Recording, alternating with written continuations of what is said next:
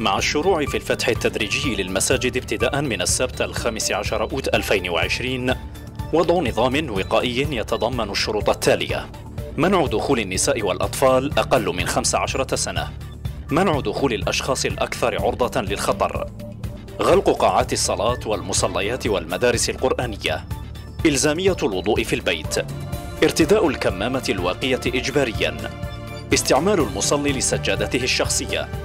فرض مسافة 1.5 متر بين المصلين. تهيئة الدخول والخروج في اتجاه واحد للمرور. وضع محلول مطهر. منع استعمال مكيفات الهواء والمراوح. التطهير المنتظم للمساجد. الاستعانة بملصقات للتذكير بتدابير الوقاية الصحية.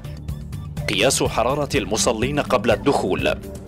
يسهر الولاة على فرض الامتثال الصارم لتدابير الوقاية والقيام بعمليات تفتيش فجائية.